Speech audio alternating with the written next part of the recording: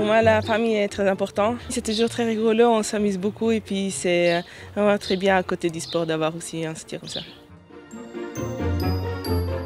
Moujing, tout d'abord, c'est ma fille. Hein. Elle ne pouvait pas marcher normalement. Bah, ça n'existait pas pour elle.